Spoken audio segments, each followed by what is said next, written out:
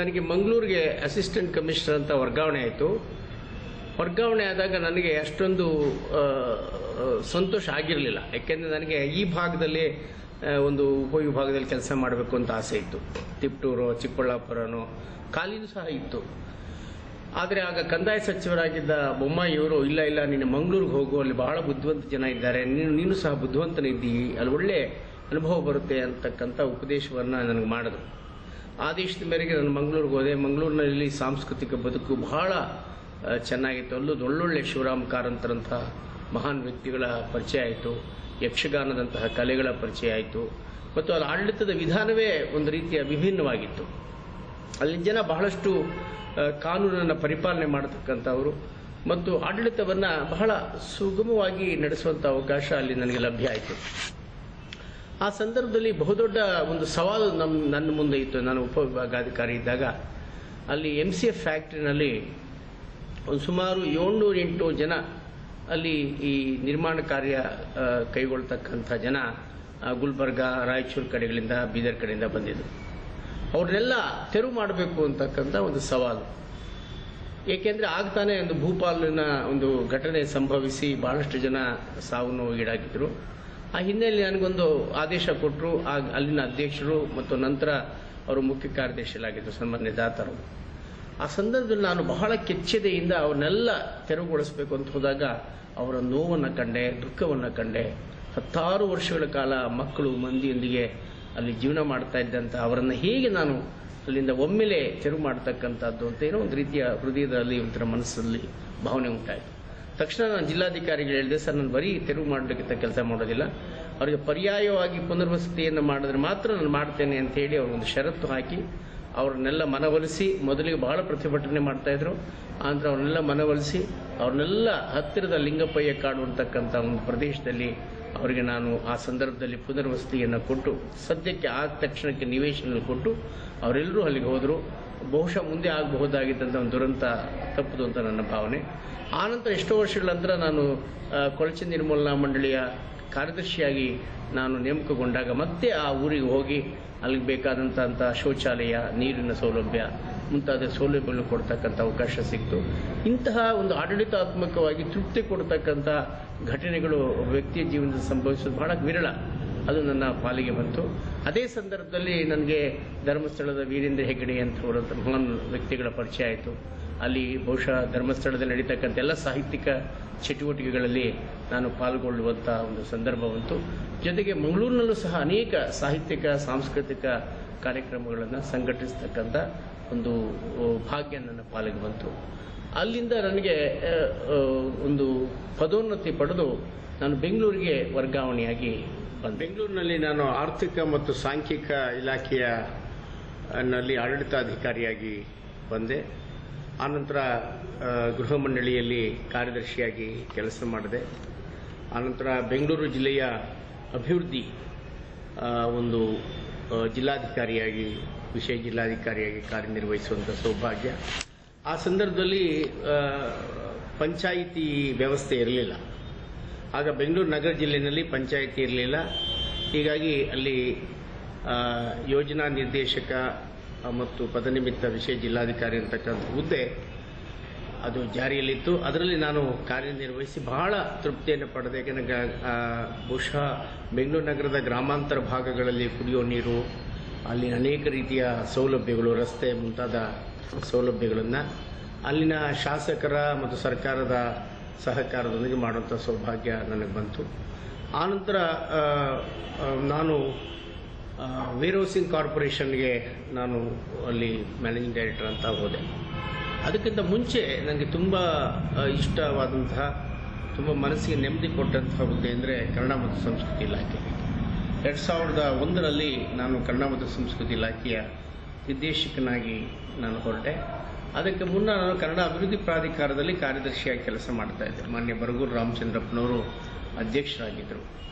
ಆ ಸಂದರ್ಭದಲ್ಲೂ ಸಹ ಬರಗೂರು ರಾಮಚಂದ್ರಪ್ಪನವರ ನೇರವಾದ ಪರಿಚಯ ಮತ್ತು ಅವರ ವ್ಯಕ್ತಿತ್ವ, ಅದರ ಒಂದು ಪ್ರಭಾವ ನನ್ನ ಮೇಲೆ ಬಿತ್ತು. ಕನ್ನಡ ಮತ್ತು ಸಂಸ್ಕೃತಿ ಇಲಾಖೆಯ ನಿರ್ದೇಶಕನಾಗಿದ್ದಾಗ ಹಲವಾರು, ಆಗ ರಾಣಿ ಸತೀಶ್ ಅವರು ಕನ್ನಡ ಮತ್ತು ಸಂಸ್ಕೃತಿ ಇಲಾಖೆ ಸಚಿವೆ ಆಗಿದ್ದರು. ಹಲವಾರು ವಿನೂತನ ಕಾರ್ಯಕ್ರಮಗಳು ಜಾರಿಯಲ್ಲಿತ್ತು. ಈ ಮನೆಯಂಗಳದಲ್ಲಿ ಮಾತುಕತೆ ಮತ್ತು ಉದ್ಯಾನವನದಲ್ಲಿ ಉದಿರಾಗ, ಅರಳುವ ಪ್ರತಿಭೆ ಮುಂತಾದ ಅನೇಕ ಕಾರ್ಯಕ್ರಮಗಳು ಜಾರಿಯಲ್ಲಿತ್ತು. ಅವನ್ನು ಹೆಚ್ಚು ಪರಿಣಾಮಕಾರಿಯಾಗಿ ಅನುಷ್ಠಾನಗೊಳಿಸಿದಂಥ ಒಂದು ತೃಪ್ತಿ ನನ್ನಲ್ಲಿದೆ. ಅದಕ್ಕಿಂತ ಮುಖ್ಯವಾಗಿ ನಾನು ನನ್ನ ಸಾಧನೆ ಅಂದರೆ ಅಲ್ಲಿ ಬಹಳ ಅಕಾಡೆಮಿಗಳಿವೆ, ನಿಮ್ಗೆ ಗೊತ್ತಿರಬೇಕು. ಸಂಗೀತ ಅಕಾಡೆಮಿ ಮತ್ತು ಪುಸ್ತಕ ಪ್ರಾಧಿಕಾರ ಕನ್ನಡ ಪ್ರಾಧಿಕಾರ ಸ, ಈ ರೀತಿ ಅನೇಕ ನಾಟಕ ಅಕಾಡೆಮಿ ಎಲ್ಲ ಅಕಾಡೆಮಿಗಳು ಸ್ವತಂತ್ರವಾಗಿ ಕಾರ್ಯನಿರ್ವಹಿಸ್ತಾ ಇತ್ತು. ಮತ್ತೊಂದು ಅಕಾಡೆಮಿಗೆ ಮತ್ತೊಂದು ಸಂಸ್ಥೆಗೆ ಸಂಬಂಧ ಇಲ್ಲವೇನೋ ಅನ್ನುವಂಥ ಕಲ್ಪನೆ ಇತ್ತು. ಆ ಸಂದರ್ಭದಲ್ಲಿ ಆ ಎಲ್ಲ ಅಧ್ಯಕ್ಷರುಗಳನ್ನು ಒಮ್ಮೆ ಸಭೆಗೆ ಸೇರಿಸಿ, ಅವರ ಮನವೊಲಿಸಿ, ನಾವೆಲ್ಲ ಒಟ್ಟೊಟ್ಟಿಗೆ ಕೆಲಸ ಮಾಡಲಿಕ್ಕೆ ಪ್ರಯತ್ನ ಪಡೋಣ ವೈಯಕ್ತಿಕವಾಗಿ ಅಕಾಡೆಮಿಗಳ ನೆಲೆಯಲ್ಲಿ ಕೆಲಸ ಮಾಡತಕ್ಕಂಥ ಕೆಲಸ ಆಗಲಿ, ಎಲ್ಲವೂ ಸಾಮೂಹಿಕವಾಗಿ ಮಾಡ್ತಕ್ಕಂಥ ಕೆಲವು ಕಾಮನ್ ಅಜೆಂಡಾನ ಇಟ್ಕೊಳ್ಳೋಣ ಅಂತ ಹೇಳಿ ನಾವು ಹೊರ ನಾಡಿನಲ್ಲಿ ಹೋಗುವಾಗ ಅಥವಾ ಗಡಿ ಪ್ರದೇಶಗಳಲ್ಲಿ ಹೋಗುವಾಗ ಎಲ್ಲ ಅಕಾಡೆಮಿಗಳು ಒಟ್ಟಿಗೆ ಹೋಗಿ ಕೆಲಸ ಮಾಡಿ ಎಲ್ಲ ಅಕಾಡೆಮಿ ಅಧ್ಯಕ್ಷರು ವೇದಿಕೆ ಮೇಲೆ ಕುಳಿತು ಒಂದು ಅಲ್ಲಿ ಸಭೆಗಳನ್ನು ನಡೆಸ್ತಕ್ಕಂಥ, ಸಂಘಟನೆ ಮಾಡತಕ್ಕಂಥ ಒಂದು ಸಮನ್ವಯ ಸೂತ್ರ, ಸಂಸ್ಕೃತಿ ಸಮನ್ವಯ ಸೂತ್ರವನ್ನು ಅಲ್ಲಿ ಮಾಡಲಿಕ್ಕೆ ಸಾಧ್ಯ ಆಯಿತು. ಆ ವರ್ಷ ತುಂಬ ಒಳ್ಳೆಯ ಸಹಕಾರ ಎಲ್ಲ ಅಕಾಡೆಮಿ ಅಧ್ಯಕ್ಷಗಳಿಂದ ದೊರೆಯಿತು ಮತ್ತು ಅದೇ ಅದೇ ಸಂದರ್ಭದಲ್ಲಿ ನಾನು ಅಕ್ಕ ಸಮ್ಮೇಳನಕ್ಕೆ ಹೋಗಿದ್ದೆ. ಅಲ್ಲಿ ಅಮರನಾಥ್ ಗೌಡರು ಅಂತ ನನ್ನ ಆತ್ಮೀಯ ಮಿತ್ರರು ಅವರ ಸಂಘಟಕರಾಗಿದ್ದರು ಡೆಟ್ರಾಯ್ಟ್ನಲ್ಲಿ ನಡೆದಂಥ ಅಕ್ಕ ಸಮ್ಮೇಳನದಲ್ಲಿ ಪಾಲ್ಗೊಳ್ಳುವಂಥ ಅವಕಾಶ. ಮತ್ತು ಆ ಸಂದರ್ಭದಲ್ಲಿ ಇಂಟರ್ನೆಟ್ನಲ್ಲಿ ವಚನಗಳನ್ನು ಮತ್ತು ದಾಸರ ಪದಗಳನ್ನು ಅಳವಡಿಸ್ತಕ್ಕಂಥ ಒಂದು ವಿಶಿಷ್ಟ ಯೋಜನೆ. ಆಗ ಕಾರ್ಯದರ್ಶಿಗಳಾಗಿದ್ದಂಥ ಸಿ ಎಸ್ ಕೇದಾರ್ ಅವರು ಒಳ್ಳೆ ಸಾಹಿತ್ಯ ಪ್ರೇಮಿಗಳು ಮತ್ತು ಒಳ್ಳೆ ಹಾಡುಗಾರರು. ಅವರ ಸಹಯೋಗದೊಂದಿಗೆ ಈ ವಿನೂತನವಾಗಿದ್ದಂತಹ ಈ ವಚನಗಳನ್ನು, ದಾಸರ ಪದಗಳನ್ನು ಅಳವಡಿಸ್ತಕ್ಕಂಥ ಈ ವೆಬ್ನಲ್ಲಿ ಹಾಕುವಂಥ ಕೆಲಸವನ್ನು ಪ್ರಾರಂಭ ಮಾಡಿದ್ವಿ. ಅದು ಸಹ ಒಂದು ಸಾರ್ಥಕವಾದಂಥ ಕೆಲಸ. ಮುಖ್ಯವಾಗಿ ಲೋಕಸಭೆಯಲ್ಲಿ ಪಾರ್ಲಿಮೆಂಟ್ ಹೌಸ್ನಲ್ಲಿ, ಅದರ ಆವರಣದಲ್ಲಿ ಬಸವಣ್ಣನವರ ಒಂದು ಪ್ರತಿಮೆಯನ್ನು ಪ್ರತಿಷ್ಠಾಪನೆ ಮಾಡತಕ್ಕಂಥ ಒಂದು ವಿಶಿಷ್ಟವಾದ ಒಂದು ಕಾರ್ಯ ಬಂತು.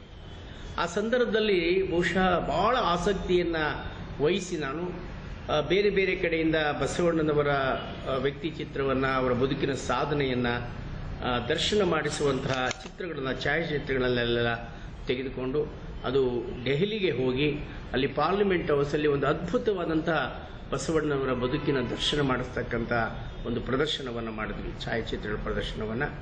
ಆ ಸಂದರ್ಭದಲ್ಲಿ A P J Abdul Kalam ರವರು ಆ ಪುತ್ಥಳಿಯನ್ನು ಪ್ರಾರಂಭ ಮಾಡಲಿಕ್ಕೆ ಬಂದಂಥವರು. ಅವರಿಗೆ ನಾನು, ಅವರಿಗೆ ಮತ್ತು ಆ ಸಂದರ್ಭದಲ್ಲಿ ಪ್ರಧಾನಮಂತ್ರಿಗಳಾಗಿದ್ದ ವಾಜಪೇಯಿ ಅವರಿಗೆ, ಉಪ ಪ್ರಧಾನಮಂತ್ರಿಗಳಾಗಿದ್ದ ಅದ್ವಾನಿ ಅವರಿಗೆ, ಮತ್ತು ಆಗ ವಿರೋಧ ಪಕ್ಷದಲ್ಲಿದ್ದಂಥ ಮನಮೋಹನ್ ಮನಮೋಹನ್ ಸಿಂಗ್ರವರು ಸೋನಿಯಾ ಗಾಂಧಿಯವರು ಅಂತಹ ಅನೇಕ ಮಹಾನ್ ವ್ಯಕ್ತಿಗಳಿಗೆ ಬಸವಣ್ಣನವರ ಪರಿಚಯವನ್ನು ನಾನೇ ಪರಿಚಯಾತ್ಮಕವಾಗಿ ವಿವರಿಸಿ ಹೇಳುವಂಥ ಒಂದು ಅವಕಾಶ ಲಭ್ಯ ಆಯಿತು. ಅದು ಬಹಳ ಒಳ್ಳೆಯ ಕೆಲಸ. ಯಾಕೆಂದರೆ ಅಲ್ಲಿ ಆ ದಿನದಂದೇ ಶಿವಾಜಿಯ, ಪುತ್ಥಳಿಯ ಒಂದು ಅನಾವರಣವೂ ಇತ್ತು. ಆದರೆ ಅಲ್ಲಿ ಯಾವುದೇ ರೀತಿಯ ಶಿವಾಜಿಯ ಬದುಕನ್ನು, ಸಾಧನೆಯನ್ನು ಗುರುತಿಸ್ತಕ್ಕಂಥ ಛಾಯಾಚಿತ್ರ ಪ್ರದರ್ಶನ ಮಾಡಿರಲಿಲ್ಲ. ನಾನು ಹೆಚ್ಚು ವೈಯಕ್ತಿಕ ಆಸಕ್ತಿಯನ್ನು ವಹಿಸಿ ಈ ಕೆಲಸವನ್ನು ಮಾಡಿದೆ. ಮತ್ತು ಆ ಸಮಾರಂಭ ಭಾಳ ಸುಸೂತ್ರವಾಯಿತು. ನಾಡಿನ ಅನೇಕ ಗಣ್ಯರು ಈ ಸಮಾರಂಭದಲ್ಲಿ ಪಾಲ್ಗೊಂಡಿದ್ದರು ಬಹುಶಃ ಇದು ಬಹಳ ಪ್ರಮುಖವಾದಂಥ ಘಟನೆ. ಅದೇ ಸಂದರ್ಭದಲ್ಲಿ ನಮ್ಮ ಗುರುದತ್ ಅವರು ಭಾಷಾಂತರ ಮಾಡಿದಂಥ ಕುವೆಂಪುರವರ ರಾಮಾಯಣ ದರ್ಶನ. ಆ ಕೃತಿನ ನಾವು ಪ್ರಧಾನಮಂತ್ರಿಗಳಾಗಿದ್ದ ವಾಜಪೇಯಿಯವರ ನಿವಾಸ ಪಂಚವಟಿನಲ್ಲಿ ಅದನ್ನು ಅನಾವರಣಗೊಳಿಸ್ತಕ್ಕಂಥ ಸಂದರ್ಭ ಬಂತು ಆಗ ಮುಖ್ಯಮಂತ್ರಿಗಳಾದ ಎಸ್ ಎಂ ಕೃಷ್ಣರವರು ಸಹ ಸಂದರ್ಭದಲ್ಲಿ ಪಾಲ್ಗೊಂಡಿದ್ದರು. ಕನ್ನಡ ಸಂಸ್ಕೃತಿ ಇಲಾಖೆಯಲ್ಲಿದ್ದಾಗ ಆ ಇಲಾಖೆ ಸಾಮಾನ್ಯ ಕಲಾವಿದನಿಗೂ ಅವಕಾಶ ಇದೆ ಅನ್ನುವಂಥ ಒಂದು ಸಂವೇದನಾತ್ಮಕವಾದಂಥ ಒಂದು ಪರಿಸರವನ್ನು ಸೃಷ್ಟಿ ಮಾಡಿ ಎಲ್ಲ ಕಲಾವಿದರಿಗೂ ಹೆಚ್ಚಿನ ಗೌರವವನ್ನು ಕೊಟ್ಟು ನಾನು ಯಾವುದೇ ಭೇದವಿಲ್ಲದೆ ಅವ್ರನ್ನ ನಡೆಸ್ಕೊಳ್ತಾ ಇದ್ದಂಥ ರೀತಿಯನ್ನು ಈಗಲೂ ಸಹ ನಮ್ಮ ಕಲಾವಿದರು ಪ್ರಶಂಸೆ ಮಾಡ್ತಾರೆ. ಯಾಕೆಂದರೆ ಕಲೆ ಅನ್ನೋದು ಬಹಳ ದೊಡ್ಡದು, ಅದು ದೇವರಿಗೆ ಸರಿ ಸಮಾನ.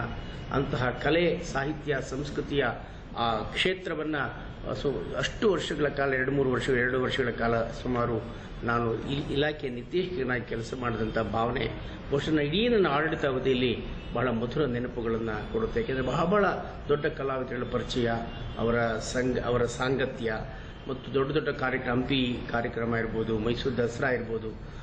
ಮುಂತಾದ ಹಲ್ಮಿಡಿಯಲ್ಲಿರ್ತಕ್ಕಂಥ ಕಾರ್ಯಕ್ರಮ ಇರ್ಬೋದು.